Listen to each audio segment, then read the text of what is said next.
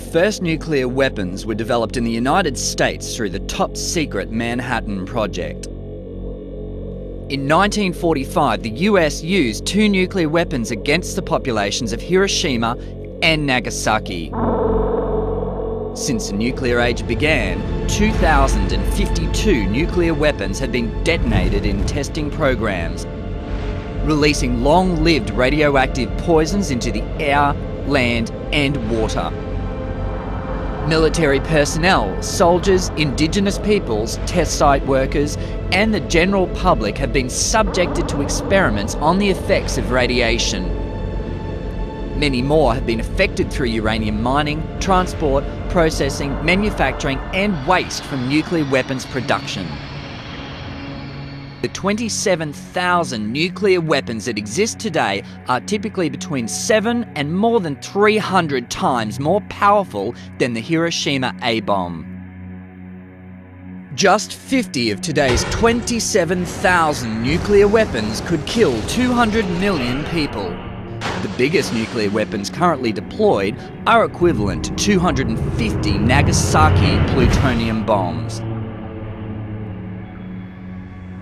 97% of the nuclear weapons in existence today are in the arsenals of the USA and Russia. Belgium, Germany, Italy, the Netherlands, the UK, and Turkey have US weapons on their soil as part of the NATO nuclear umbrella. Over two thirds of Europeans polled in these countries want the weapons removed.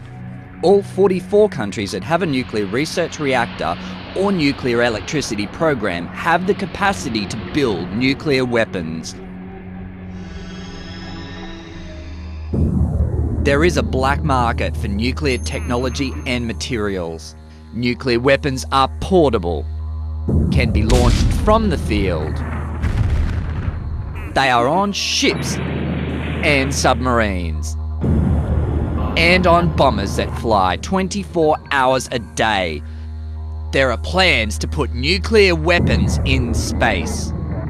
Recent scientific studies have shown that even 100 Hiroshima sized nuclear weapons, less than one thousandth of the global nuclear arsenal, could cause tens of millions of immediate deaths and devastating global, environmental, and climatic consequences. But the peace and nuclear free movement is strong since nuclear weapons were invented, people have opposed them, and so have governments. The first ever UN resolution in 1946 unanimously called for the elimination of atomic weapons. Still today, the vast majority of governments do not have and do not want nuclear weapons. Governments were encouraged to work for disarmament by Albert Einstein and Bertrand Russell and other leading scientists and intellectuals who signed the Einstein Russell Manifesto. It warned of the dangers posed by nuclear weapons and called on world leaders to find peaceful solutions to international tensions. Dr. Albert Schweitzer's 1957 radio broadcast, what he called his Declaration of Conscience, set the medical and moral foundation for the abolition of nuclear weapons. Decades later, international physicians for the prevention of nuclear war won the Nobel Peace Prize for uniting doctors across the Cold War divide to raise awareness of the threats posed by nuclear weapons. Their prescription for survival was, and remains, the complete elimination of nuclear weapons.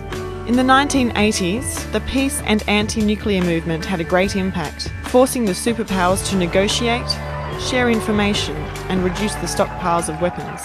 A million people gathered in New York in 1983 to protest the nuclear threat.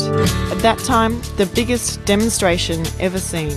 Peace camps such as the one organised by women at Greenham Common, and large demonstrations against the US NATO weapons in Europe and throughout the world, led to the elimination of some types of nuclear weapons and provided a constant reminder that the majority of citizens want a nuclear weapon free future.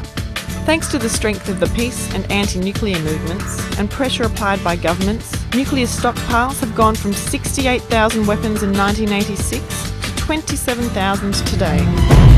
Also, Nuclear testing in the environment and underground has almost stopped, and a treaty exists to halt nuclear testing forever. 1,600 mayors across the world have formed Mayors for Peace and campaign against their cities being nuclear targets. Physicians and health professionals have redoubled their efforts for a nuclear weapon free future, launching ICAN, the International Campaign to Abolish Nuclear Weapons. Working with many other organisations, professionals, and prominent people, our campaign will not stop until a nuclear weapons convention is negotiated. We have banned landmines, biological, and chemical weapons. It is way overdue to ban the worst weapons of terror nuclear weapons. Together, I can, you can, they can, we can abolish nuclear weapons for ourselves, our children, our future. Get educated, get active, I can.